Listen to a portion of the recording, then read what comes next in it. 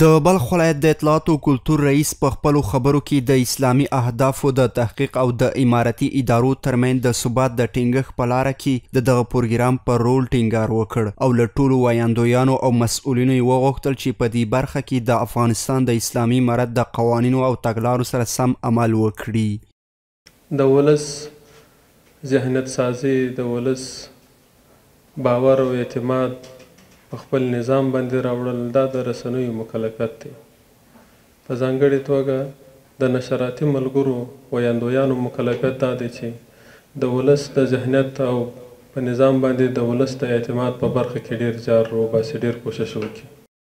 همدارنګه د هیواد د اطلاعاتو کلتور وزارت د اطلاعاتو ته د لاسرسي عمومي رئیس د پروګرامونو د پیاوړتیا په برخه کې د هیواد د اطلاعاتو کلتور وزارت د ژمنو په اړه اطلاعاتو ته د لاسرسي حق او د اسلامي امارت د تګلارو پر بنسټ یې خپل نظر څرګند کړ او د ویاندویانو ترمنځ یې په ښې همغږۍ ټینګار وکړ.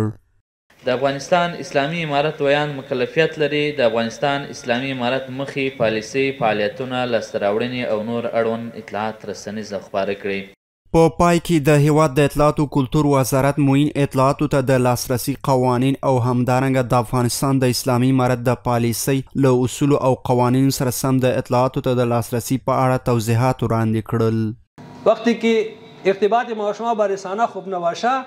مطمئنا ما شما از او خوب استفاده گرفتن نمیتانیم باید با مسئولین رسانه خوب نشست داشته باشیم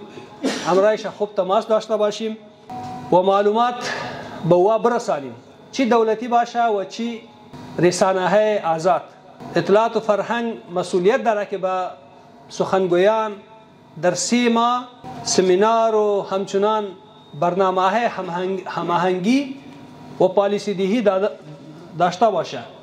باید یادونه وشي چې د اطلاعات او کلتور وزارت چارواکي سبا هم په شمال زون کې د خصوصي رسنیو له مسؤلینو او خبریالانو سره د اسلامي پروګرامونو د پیاوړتیا او اطلاعاتو ته د لاسرسي او ښې همغږۍ په موخه غونډه کوي.